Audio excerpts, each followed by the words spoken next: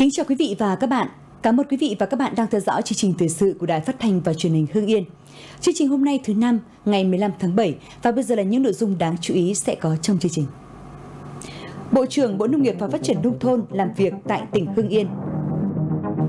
Hội nghị kết nối cung cầu tiêu thụ nhãn và nông sản tỉnh Hưng Yên năm 2021. Tổng kết công tác bầu cử đại biểu Quốc hội khóa 15 và đại biểu Hội đồng Nhân dân các cấp nhiệm kỳ 2021-2026. Hưng Yên ghi nhận thêm 12 ca dương tính với SARS-CoV-2. Hưng Yên chuẩn bị xuất khẩu 3 tấn nhãn đầu tiên sang châu Âu.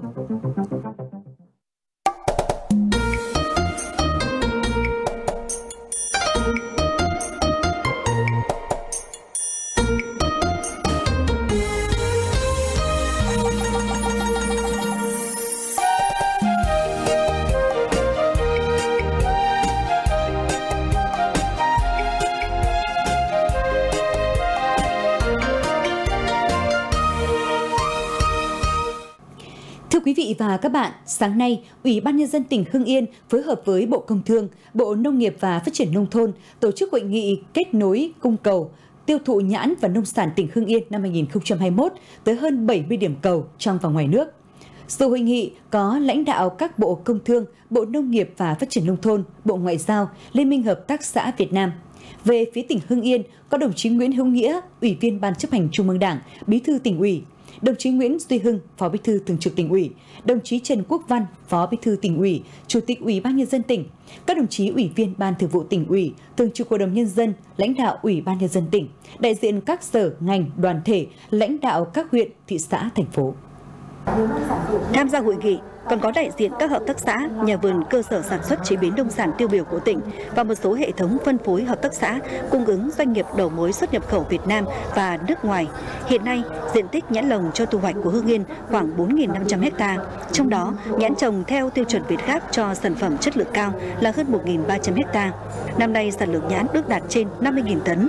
Phát biểu chào mừng, Chủ tịch Ủy ban nhân dân tỉnh Trần Quốc Văn cho biết, tỉnh Hưng Yên không chỉ có nhãn lồng mà còn có nhiều sản phẩm nông nghiệp sạch chất lượng cao đã và đang được người tiêu dùng Việt Nam cũng như một số quốc gia trên thế giới tin dùng như chuối tiêu hồng cam và các loại quả có muối nghệ tươi và tinh bột nghệ, vải lai chín sớm, vải trứng hương Yên, long nhãn, mật ong, hoa nhãn, gà đông tảo với tinh thần đưa nhãn lồng nông sản Hương Yên vươn xa đến với bạn bè và người tiêu dùng trên toàn thế giới. Tỉnh hy vọng qua hội nghị này, các đại biểu các doanh nghiệp thương nhân và người tiêu dùng trong và ngoài nước sẽ có thêm thông tin về nhãn lồng nông sản tiêu biểu của Hương Yên để trải nghiệm thưởng thức và ủng hộ người sản xuất bà con nông dân Hương Yên. Đại diện các điểm cầu trong nước và quốc tế đã có tham luận phân tích về tiềm năng lợi thế của việc sản xuất chế biến và xuất khẩu để tăng giá trị nông sản nói chung và tỉnh Hưng Yên nói riêng, trong đó gợi ý một số kinh nghiệm hoặc trao đổi các quy tắc mà các chủ nhà vườn hợp tác xã muốn tham gia xuất khẩu cần phải nắm vững, nhất là những quy định của quốc tế và khu vực khi tiêu thụ sản phẩm trên các sàn thương mại điện tử. Bên cạnh đó, đại diện các điểm cầu cũng cam kết tạo mọi điều kiện về thủ tục xuất nhập khẩu để nông sản của Hương Yên, trong đó có nhãn lồng được tiêu thụ một cách thuận lợi nhất. Theo Thứ trưởng Bộ Công Thương Đỗ Thắng Hải, trong bối cảnh dịch COVID-19 ảnh hưởng đến sản xuất kinh doanh, đặt ra thách thức cho việc tiêu thụ sản phẩm cho bà con. Thông qua chương trình kết nối do tỉnh Hưng Yên tổ chức, chuỗi cung ứng sẽ được mở rộng và củng cố, đồng thời có thêm nhiều chuỗi cung ứng được hình thành. Đặc biệt, sự liên kết là nhà sản xuất đến các hệ thống phân phối, doanh nghiệp chế biến xuất khẩu, các tổ chức hỗ trợ kinh doanh, góp phần đưa nông sản của Hưng Yên đi xa hơn và bền vững hơn. Đồng chí Nguyễn Hữu Nghĩa, Ủy viên Ban chấp hành Trung ương Đảng, Bí thư tỉnh ủy Hưng Yên khẳng định, tuy phát triển mạnh công nghiệp dịch vụ trong thời gian qua, song Hưng Yên rất quan tâm đến lĩnh vực nông nghiệp, trong đó có sản xuất, chế biến và tiêu thụ nông sản. Bởi lĩnh vực này đã làm giàu cho nhiều hộ dân, cũng là làm giàu cho tỉnh. Vì vậy, Hưng Yên sẵn sàng tạo mọi điều kiện thuận lợi nhất cho các doanh nghiệp tổ chức cá nhân trong và ngoài nước tiếp cận cơ hội kinh doanh và tham gia ký kết các hợp đồng mua bán nhãn cũng như các nông sản của tỉnh, đặc biệt nông sản Hưng Yên hướng đến thị trường Mỹ, châu Âu, châu Á như là tỉnh Quảng Tây và Vân Nam của Trung Quốc. Thời gian tới, Hưng Yên tiếp tục thực hiện tái cơ cấu ngành nông nghiệp gắn với xây dựng nông thôn mới nâng cao, nông thôn mới kiểu mẫu, đồng thời triển khai đồng bộ các giải pháp cho sản xuất, phân phối, tiêu thụ nhãn và nông sản tiêu biểu của tỉnh, phục vụ tốt nhất việc giao thương, kết nối tiêu thụ nhãn và các nông sản khác, không để xảy ra tình trạng được mùa rớt giá. Trong điều kiện dịch Covid-19, chúng tôi rất mong sự hỗ trợ của các cơ quan chức năng trong và ngoài nước, nhất là tỉnh Vân Nam, Quảng Tây, Đại sứ quán Trung Quốc và chính quyền các tỉnh, thành phố, các cơ quan ngoại giao, cơ quan xúc tiến thương mại của Việt Nam ở nước ngoài tạo điều kiện thuận lợi cho hàng hóa nông sản, phương tiện của Việt Nam nói chung và à, của Hưng Yên nói riêng được vận chuyển, xuất khẩu, tiêu thụ ở các thị trường với các thủ tục đơn giản nhất về kiểm dịch, hải quan, thông quan, kiểm tra an toàn nông sản. Trong khuôn khổ hội nghị, lãnh đạo các bộ công thương, Bộ Nông nghiệp Phát triển Nông thôn, các đồng chí lãnh đạo tỉnh bấm nút khởi động sàn thương mại điện tử, chương trình đưa nhãn và nông sản Hương Yên lên sàn thương mại điện tử, tổ chức chương trình ký kết hợp tác tạo điều kiện lưu thông, tăng cường hỗ trợ tiêu thụ nhãn và nông sản Hương Yên tại các kênh phân phối ở thị trường trong nước, cắt băng xuất hành đưa nhãn lồng Hương Yên vào các hệ thống phân phối. Ngay sau đó, hơn 20 tấn nhãn Hương Yên đã được các sàn thương mại điện tử, hệ thống siêu thị như Shopee, Botmax, Lazada, chợ đầu mối Kim Hưng tiêu thụ.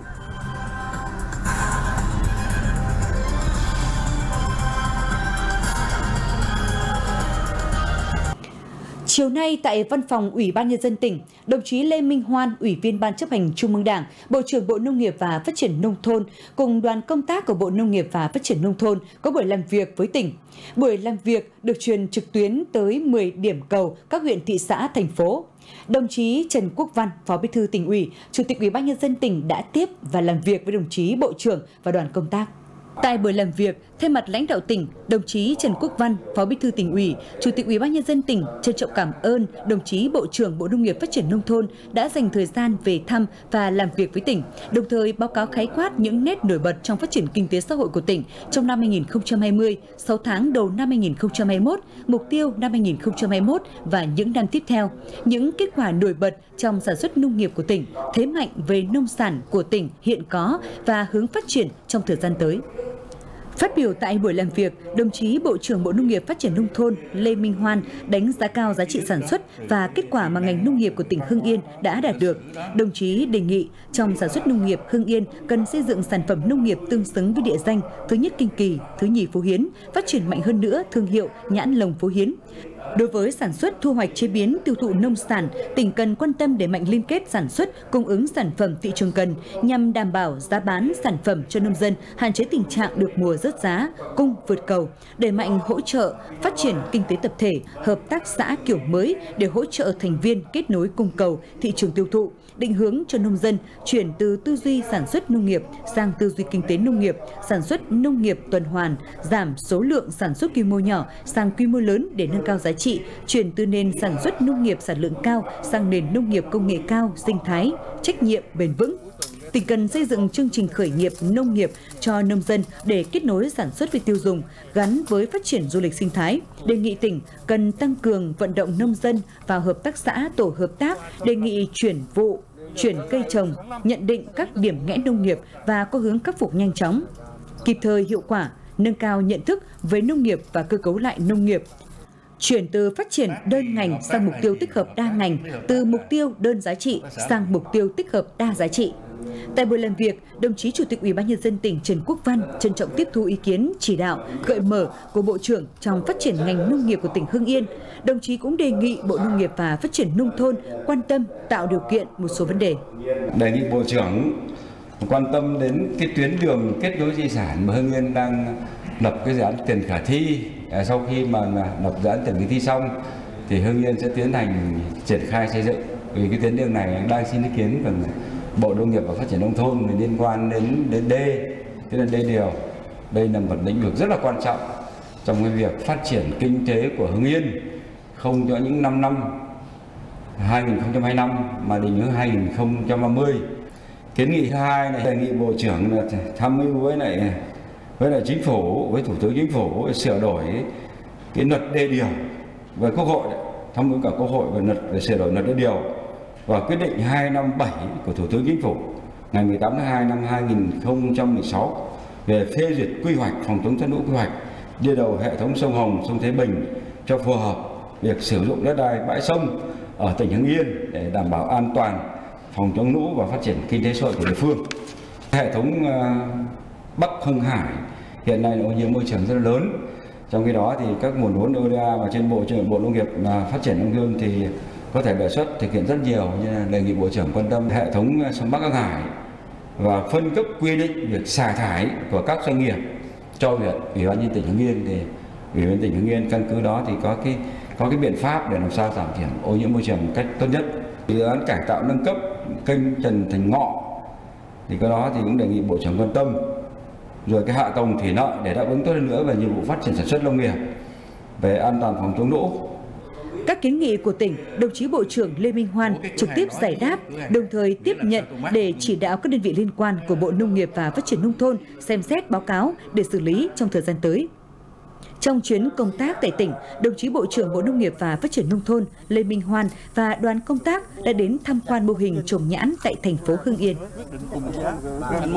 Sáng nay, Hội đồng bầu cử quốc gia tổ chức hội nghị trực tuyến toàn quốc tổng kết công tác bầu cử đại biểu Quốc hội khóa 15 và đại biểu Hội đồng Nhân dân các cấp nhiệm kỳ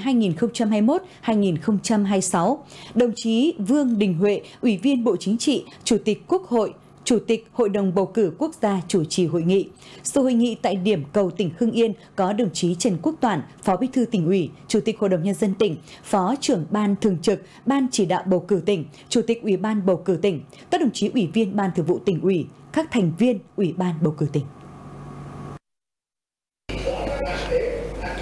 Phát biểu tại hội nghị, Chủ tịch Quốc hội Vương Đình Huệ, Chủ tịch Hội đồng bầu cử quốc gia khẳng định cuộc bầu cử đại biểu Quốc hội khóa 15 và đại biểu Hội đồng Nhân dân các cấp nhiệm kỳ 2021-2026 là sự kiện chính trị trọng đại của đất nước đã diễn ra dân chủ, bình đẳng, đúng pháp luật, đảm bảo an toàn, tiết kiệm và thành công tốt đẹp, thực sự là ngày hội lớn của toàn dân.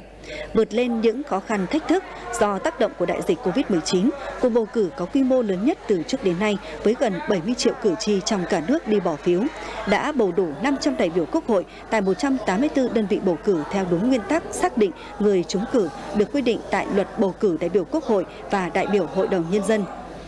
Đến thời điểm này, hầu hết các địa phương đều đã tổ chức thành công kỳ họp thứ nhất Hội đồng Nhân dân các cấp nhiệm kỳ 2021-2026, hoàn thành việc kiện toàn nhân sự lãnh đạo chủ chốt của chính quyền địa phương các cấp. Chủ tịch Quốc hội cũng đã ký phê chuẩn kết quả bầu chủ tịch, các phó chủ tịch Hội đồng Nhân dân của các tỉnh, thành phố trực thuộc Trung ương. Tại kỳ họp thứ nhất tới đây, Quốc hội có 15 sẽ kiện toàn nhân sự lãnh đạo chủ chốt của nhà nước, đồng thời kiện toàn nhân sự cấp cao để hoàn tất công tác nhân sự từ Trung ương đến địa phương. Sáng nay, Ban tuyên giáo Trung ương tổ chức hội nghị trực tuyến báo cáo viên Trung ương tháng 7 năm 2021. Hội nghị đã nghe đồng chí Lê Hải Bình, Ủy viên Dự quyết Trung ương Đảng, Phó trưởng ban chuyên trách, Ban chỉ đạo công tác thông tin đối ngoại Trung ương, thông báo nhanh kết quả hội nghị lần thứ ba Ban chấp hành Trung ương khóa 13.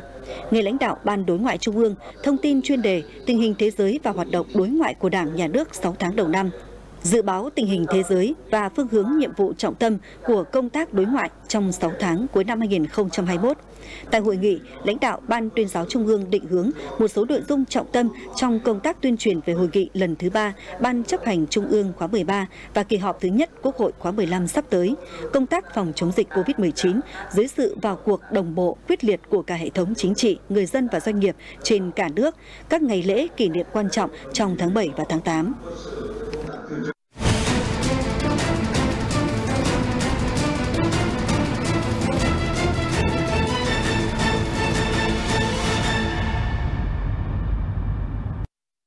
Đến 18 giờ chiều nay, tỉnh Hưng Yên ghi nhận thêm 12 bệnh nhân COVID-19, tất cả đều đã được cách ly tập trung từ trước. Số người về từ vùng dịch là 183 người.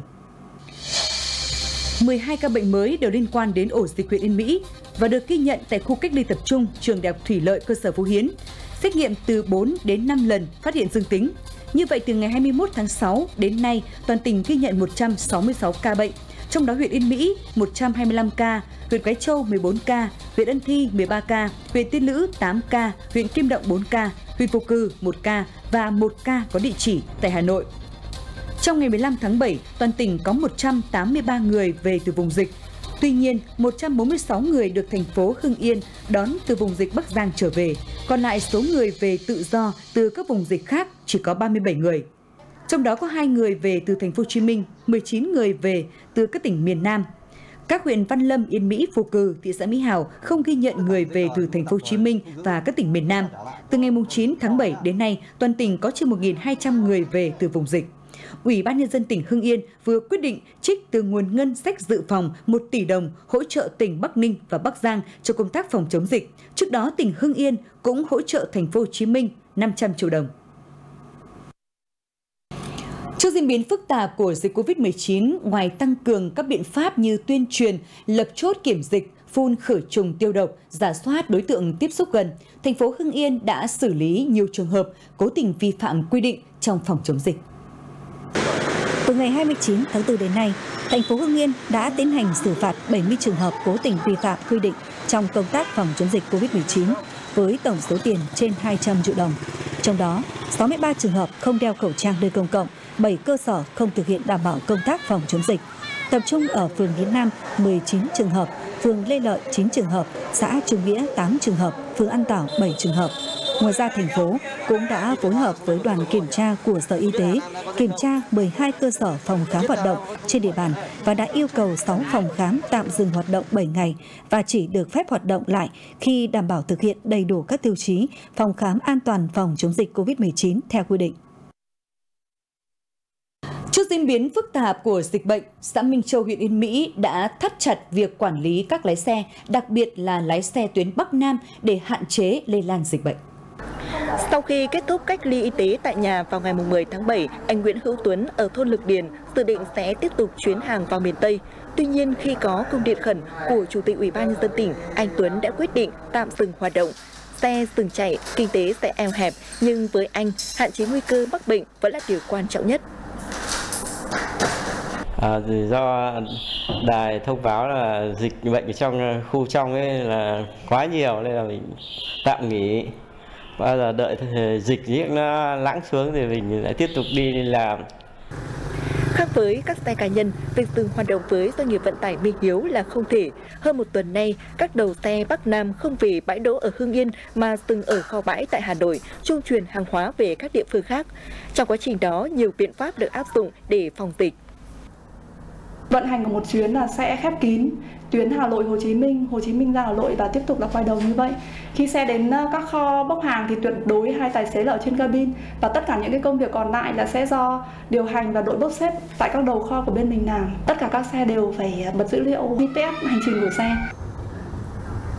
Tổng số lái xe và phụ xe đang hoạt động tại xã Minh Châu là 132 người, trong đó phần lớn là người địa phương khác. Do đó, xã yêu cầu các doanh nghiệp cá nhân kinh doanh dịch vụ vận tải ký cam kết thực hiện đúng các quy định phòng dịch, đẩy mạnh tuyên truyền, đồng thời phát huy vai trò giám sát của người dân và các tổ phòng dịch cơ sở. Trước diễn biến tình hình dịch bệnh, tổ phòng chống dịch thôn thì gọi là phân công có từng thành viên trong tổ quản lý theo từng khu vực, từng địa bàn vận động các cái người lái xe cũng như là các người thân của các gia đình mà hiện nay đang ở các tỉnh phía Nam, nhất là thành phố Hồ Chí Minh tạm thời dừng trong giai đoạn này là không về của địa phương. Khi về đến địa phương là phải thực hiện nghiêm cái vấn đề khai báo y tế. Và thực hiện theo cái hướng dẫn của cán bộ y tế là cách ly tại nhà ngày 6 tháng 7 năm 2000. Với sự quyết liệt trong công tác phòng chống dịch, xã Minh Châu vẫn chưa ghi nhận ca bệnh COVID-19, dù đây là địa phương có nhiều xe vận tải Bắc Nam. Tính đến ngày 14 tháng 7, huyện Văn Giang đã giả soát thống kê được trên địa bàn huyện có 1.170 trường hợp liên quan đến các ca F0 tại huyện Yên Mỹ thuộc diện phải cách ly. Trong đó có 90 trường hợp trở về từ các địa phương có dịch trong nước, 15 trường hợp người từ nước ngoài, còn lại là các trường hợp F1, F2 và F3. Từ ngày 30 tháng 6 đến nay, huyện đã tiến hành lấy mẫu xét nghiệm cho 37 trường hợp trở về từ thành phố Hồ Chí Minh, trong đó có 36 mẫu xét nghiệm cho kết quả âm tính lần 1, hai mẫu chưa có kết quả xét nghiệm. Để đảm bảo an toàn phòng chống dịch COVID-19, huyện Văn Giang yêu cầu những người trở về từ thành phố Hồ Chí Minh, các tỉnh miền Nam và vùng có dịch phải thực hiện khai báo y tế cách ly tập trung 21 ngày và lấy mẫu xét nghiệm 3 lần có trả phí theo đúng quy định. Cùng với việc ký kết với các doanh nghiệp để tiêu thụ nhãn ở thị trường trong nước, vụ này nhãn lồng Hưng Yên còn được xuất khẩu sang thị trường châu Âu và Vương quốc Anh. Những trà nhãn chuẩn bị được xuất khẩu sang thị trường châu Âu và Vương quốc Anh của Hợp tác xã cây ăn quả đặc sản Quyết Thắng, xã Tân Hưng, thành phố Hưng Yên.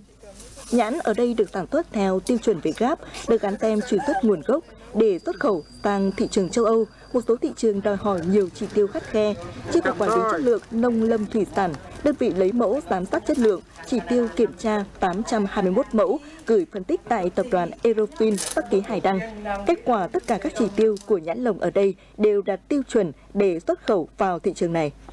Vụ à, nhãn năm 2021 chúng tôi cam kết là à, xuất khẩu tối thiểu khoảng 60 tấn nhãn đạt chất lượng đi thị trường châu Âu. Sau khi có kết quả thì chúng ngày 15 chúng tôi sẽ tiến hành thu và lịch là ngày 17 và 18 thì chúng tôi có lịch bay sản phẩm sang à, chuyến sang Anh đầu tiên. Vụ này, công ty cổ phần nông nghiệp hữu cơ Fusa sẽ thu mua 60 tấn nhãn lồng của thành phố Hưng Yên và huyện Quái Châu để xuất khẩu sang châu Âu. Lần đầu tiên tới đây sẽ xuất 3 tấn nhãn. Đây là lần đầu tiên nhãn lồng Hưng Yên được xuất khẩu chính ngạch sang thị trường lớn. Để có tin vui này, các nhà vườn trồng nhãn ở Hưng Yên nhiều năm đã nỗ lực thay đổi thói quen để sản xuất nhãn đạt chuẩn xuất khẩu vào các thị trường khó tính. Đối với bà con chúng tôi là rất mừng bởi vì thị trường nhãn năm nay mà Hưng Yên mình lại được sang châu Âu thì rõ ràng nâng giá trị sản phẩm và giá trị cho bà con là rất chi là cao. Tại xã chúng tôi thì rất là hào hứng phấn khởi vì đã đưa được cái sản phẩm nhãn của Hưng Yên đi vươn ra ngoài thế giới, đặc biệt các cái thị trường khó tính. Thì là càng một vấn đề đòi hỏi các cái kỹ thuật chăm sóc của bà con càng tốt lên và các bà con chăm tốt lên thì sản phẩm giá trị của bà con ngày càng được cao hơn so với sản xuất bình thường. Cùng với chuẩn bị xuất nhãn sang châu Âu, các đơn vị chức năng của tỉnh đang tích cực mời gọi doanh nghiệp xuất khẩu nhãn sang thị trường châu Á và các thị trường khác, đồng thời vào khảo sát địa bàn, thống nhất phương án thu mua, hướng dẫn các hợp tác xã, nhà vườn thực hiện nghiêm quy trình sản xuất, đảm bảo theo quy trình chất lượng. Đến thời điểm này thì chi cục cũng đã kết nối với các đơn vị và xây dựng các hệ thống thông tin hoặc là qua các hệ thống thông tin mạng kết nối với các bà con hợp tác xã để có những cái, cái thông tin trao đổi từ các đơn vị thu mua, đơn vị uh, sàn giao dịch và bà con để cùng có cái phương thức uh, sản xuất kinh doanh đảm bảo theo cái quy định về về hàng để cho bà con chủ động trong vấn đề về kết nối thu mua sản phẩm. Việc lần đầu tiên nhãn được xuất sang châu Âu không chỉ khẳng định chất lượng, danh tiếng của quả nhãn lồng Hưng Yên, mang lại thu nhập cao cho người nông dân mà còn mở ra nhiều cơ hội cho việc xuất khẩu nhãn với số lượng lớn sang các thị trường cao cấp khác.